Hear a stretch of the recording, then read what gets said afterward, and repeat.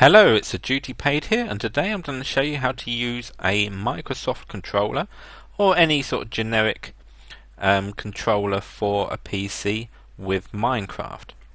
Today I'm using the program Xpadder. I drop a link into the description or you can sort of search for it on Google. There is a paid version that says works with Windows 7, Windows 8 but the still the freeware version will still work with Windows 7 if you use compatibility mode when installing. So first you want to get it installed. I won't run through that, but if you have any problems, it's normally the uh, setup file and you right click on it, compatibility mode, let that run, and you should be fine. Now, as long as you've got your micro, Microsoft uh, controller plugged in, what you need to do is create new on this little button here. You then need to choose a image the controller. Now you can draw one if you wish, but if you choose open, you can run down and there's practically all the different control pads you can imagine, sort of generic kind of Xbox cross sort of PlayStation controllers. Now I have a Microsoft Xbox 360 controller or they call it controller for Windows, I believe. So you got the Mad there and Xbox, Microsoft, and you got the original one as well. But we choose this one for now. You open that, and it will occur in this box here. Now this is currently unmapped. You want to map it for Minecraft. So first tab is the sticks, and you want to enable the stick one. Basically, it says push left then up. And that's all you have to do, and that's map it. And this will map onto there. If it comes up blank first time, because I've already done it, I will run through what you need to do. Now you need to go to stick 2 and enable, and very similar, press left, then up. And then you move that, whoop, wrong side, you can move that over so you get an idea where it is. D-pad, I don't particularly use the D-pad for anything, but the button's moving on. Basically, press the button and it moves it to the uh, pad. So, basically, back button and start button. And then Y, X. Let's move them over so we uh, don't get confused. And A and another one behind it. So move down at A and this one hide and behind. Over there. And the triggers. So moving on to triggers. Uh, enable trigger. Hold left hand. Hold right hand. So this is already mapped out. Maybe it's got a sort of memory of when I last did it. I was going to show you how to set these up, but basically is these are not mapped at all. It will come up. So what you want to do is click on there and then you choose the keyboard where you want it to go. So obviously walking forward in Minecraft is W and WASD so up, left, right, down.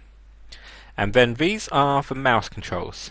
In Minecraft this is what allows you to walk a, or sort of look about so you just click up, down, left and right. And then Q is drop item. E is open inventory. Space is jump and left shift is duck or crouch. Escape brings up the sort of main sort of menu screen. E I put on inventory as well because I always keep pressing that. And if you may notice I've got left mouse trigger on the right and right mouse on the left trigger. Um, so let's open Minecraft now and back to game which you have to click. Now you can see I'm using the left thumbstick at the moment to look around and you can do a 360 spin. You can change the mouse sensitivity so this will move much faster, depends how you like it. And obviously WASD moves around. So what you can do if I can bring this sort of box semi up, as you can sort of see the sort of triggers working. Now,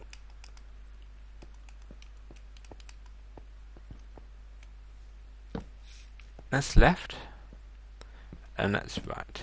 Uh, what I wanted to do as well is obviously you want the uh, shoulder buttons. So if you want to change anything, you just where am I? No, not properties. Spanner? No, not spanner. I've gone mad. So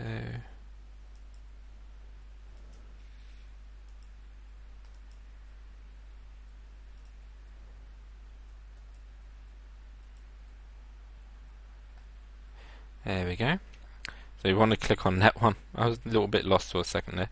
So go back to buttons, left and right bumpers and that is mouse wheel so that's sort of the central wheel and then back to game and as you can see pressing the uh, left trigger will scroll through the items now I've changed the mouses around because obviously left trigger is to sort of the main action to mine and right is to sort of place a block. Now I don't know about you but I like the right trigger to actually mine and the left to place. So that is how you can use a 360 pad on Windows. It works um, quite well, quite successfully. So, I will put the uh, links and stuff into the description, and hope that's been helpful. And until next time, I'm the duty paid. Take care.